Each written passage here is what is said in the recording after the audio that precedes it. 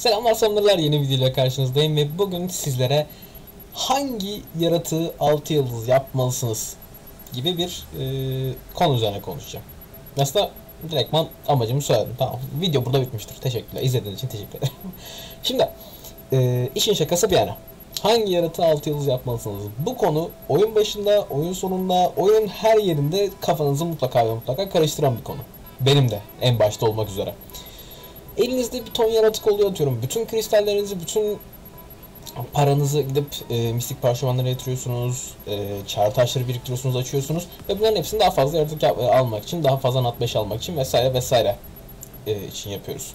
Yapıyorsunuz, yapıyoruz. Ben yapmıyorum. e, şöyle bir durum söz konusu.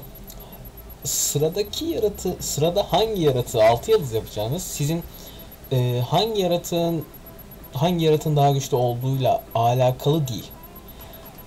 Durum biraz şöyle. İlk önce e, bir hedef belirliyorsunuz. Ben Dev 10 yapacağım, ben Ejder 10 yapacağım, ben Necropolis 10 yapacağım. Ben e, uçurum akını kadrosu kul- e, oluşturacağım. Ben gidip e, arena saldırı kadrosu oluşturacağım. Arena defans kadrosu oluşturacağım. Lonca savaşı, lonca defansı, kuşatma savaşı bu liste böyle uzar gider. Yüksek denemesi vesaire vesaire. İlk önce kendinize bir hedef belirliyorsunuz. Bunun hakkında daha önce konuşmuştum. Ee, o belirlediğiniz hedef uğrunda kafanızda bir kadro oluşturun. İlk Devon kadrosu için nelerimiz vardı? Sigmarus, Veramos, Bella, Bernard, Shannon bu beşli vardı. İlk önce burada bu beşli e, bu beşlideki yaratıklara 6 yıldız yapmalısınız ki e, mesela e, yaratıklarınız daha dayanıklı olsun gibi. Veya ben ejderhan yapacağım deyin. Word heal'inizi gerçi ikizler e, eğer ikizlere sahip Shayna ve Shayna ve Sabrina'ya sahipseniz yani ateş çakram ve e, su bumerang savaşçısına sahipseniz çok fazla dert etmenize gerek olmayacaktır büyük ihtimalle. Çünkü zaten tek başlarına müthiş yapacaklar. Başka yaratığı 6 yıldız yapmanıza gerek yok. İkisini yapın hatta sadece ikisini koyun. O derece. Eee Hani Ejder için Verdehill, Belladeon, yine şekilde Veramos, Sigmarus, Megan en temel kadrodur. Bu kadroyu ilk önce gidin 6 yıldız yapın. Bu kadrodaki, bu listedeki yaratıkları ilk önce 6 yıldız yapın. Necropolis yapacaksanız ona göre e, bir yaratığınızı gidip 6 yıldız yapın. Yani gidip de Aa, benim Nat 5'im var ama atıyorum hiç e, asla kullanamayacağım. Benim şu an demon yapmam lazım ve benim şu an ejderon yapmam lazım. Ama ben gidiyorum mesela hmm, Su Paladin'e. Aynen Su Paladin'i şövalyeye 6 yıldız yapıyor. Bana ne faydası oldu? Hiçbir faydası olmadı. Ne ilerlememe katkı sağladı, ne gelişmemi hızlandırdı vesaire. Ya arenada bile kullanamayacağım. Niye? Çünkü e, amaçlarıma ulaşamadığım için elimde ürün yok. Veya değiştiriyorum. E, yüksek denemesi yapmak istiyoruz. Hatta buna kendimden de örnek verebilirim. Yüksek denemesi zoru, e, hadi normal için zoru geçelim. E, yüksek denemesi için bir kadro oluşturmak istiyorsunuz. Gidip e, en temel kadro Barrett de alırsınız. E, Bella, Mev, e, Spectra, Sigma. Sigma biraz daha şey. E, nasıl diyeyim? Opsiyonlu. Hani daha farklı opsiyonları var. Daha farklı seçeneklere sahip. Sahipsiniz. Vesaire vesaire. Bu yaratıkları altı yıldız yapabilirsiniz. Mesela ben e, yüksek denemesi normali bitirebiliyorum. Galleon'lı, Pernal'lı, Sigma'lı bir kadroyla e, çok rahat bir şekilde takır takır katları süpürebiliyorum 100. katı dahil. Fakat yükseliş denemesi zor için bu durum pek söz konusu olmuyor. Aynı şekilde e, aynı şekilde söz konusu olmuyor. Haliyle ne yapıyorum? Ben Spectre'yi kasmamıştım.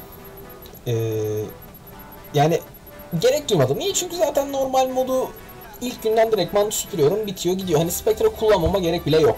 Fakat e, Spectre'nin birden fazla kullanım alanı olduğunu unuttum.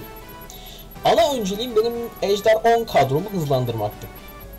Her ne kadar Shayna ve Sabina'ya sahip olsam da yani Shayna'ya ve Sabina'ya sahip olsam da hızlı devo, e, hızlı Ejder 10 kadrosuna sahip değilim. Yani maksimum 1 dakika 20 saniye gibi bir sürede e, bitirebiliyorum. Ki bu pek hızlı kadro sayılmaz. Benim için. Bunun yerine şöyle bir şey düşündüm. Yine Shine olacak. Fakat Sabrina olmayacak. Ee, Galleon olmayacak. Onun yerine Spectre olacak ve e, Sigmarus ve Lin olacak. Mesela yani şu an kafamdaki kadro açıkçası hatta şöyle göstereyim hemen. Hemen de nasıl konuyu kendime çektim ya.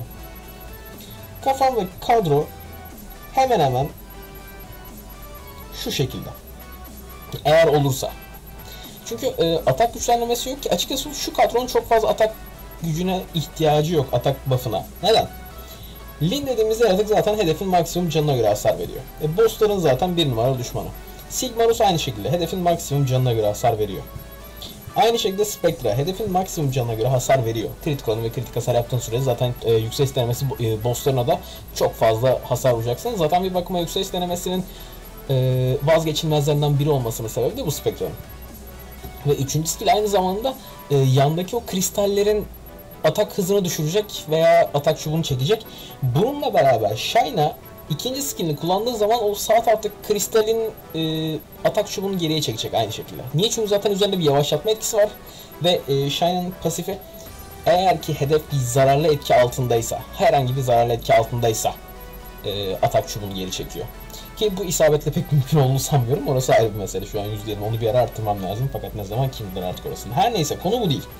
Konu benim Shine'ımın isabeti değil.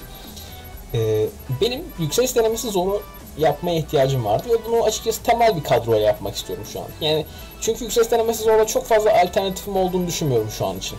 Ya ileride belki e, daha kaliteli ürünlerle mutlaka olabilir fakat şu an için böyle bir lüksüm yok.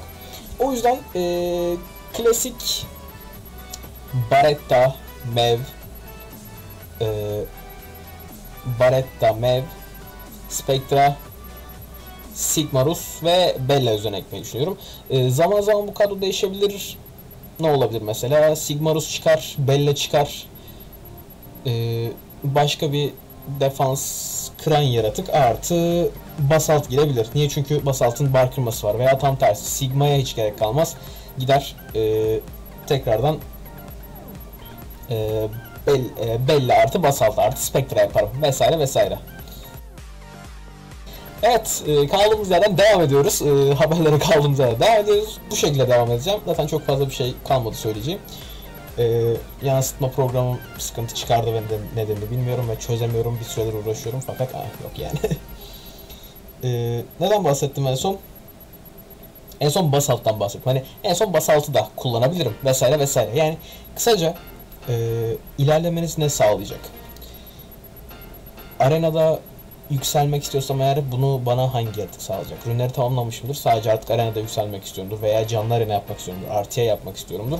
Hangi yaratıklara ihtiyacım var? Elimde olan hangi yaratığı alt yıldız yapabilirim şeklinde düşünebilirsiniz. Ki bunun da en e, basit ve en mantıklı yönü aslında buna bakarsanız e, zindan kadrolarınız için, uçurum akını kadrolarınız için, elemental yaratıklar için kadrolarınız için her şey için e, mantık gayet sabit yanındaki takım arkadaşlarına bağlı olarak yaratıkları alt yıldız yapabilirsiniz. Mesela ben Bulldozer'i yapacaktım. Ateş Frankenstein'ı e, alt yıldız yapacaktım ve onun üzerine e, cidden hoş ürünler taktım.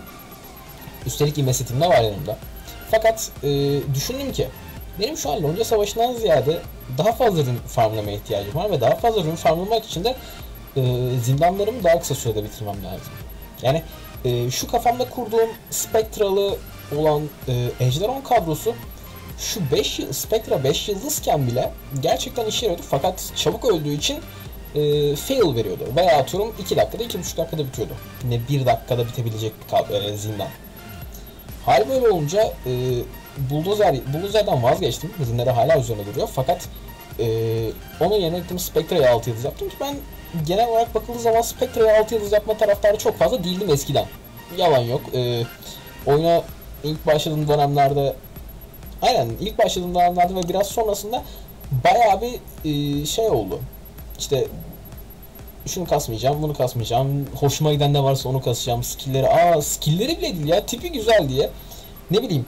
E, karakter havalı duruyor diye gittim ilk önce mesela Verde 6 yazdım. 6 yaptım. Pardon. E, gittim Julia'ya 6 yıldız yaptım.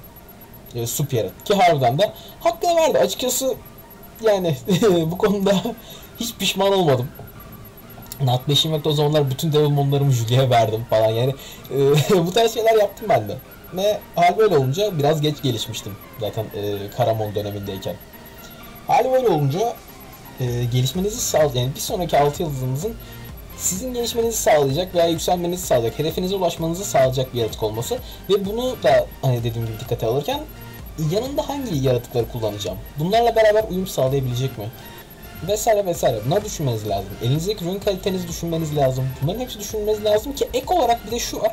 6 yıldız yapacağınız yaratığın eğer zindanlarda vesaire kullanacaksanız yeteneklerinin e, maksimum düzeyde olduğuna dikkat edin. Yani e, yeteneklerinin seviyelerinin yüksek olduğuna dikkat edin. Bekleme sürelerinin azaldığına, e, hasarların arttığına, zararlı etkilerin e, ihtimallerin arttığına mutlaka e, artmasına mutlaka dikkat edin.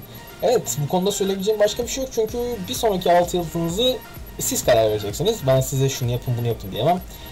E, buradan sonrası tamamen sizin yorum yapabilmenize bağlı. Evet sanırlar bu videoluk bu kadardı. Umarım hoşunuza gitmiştir. Bir sonraki videoda görüşmek üzere. Hoşçakalın.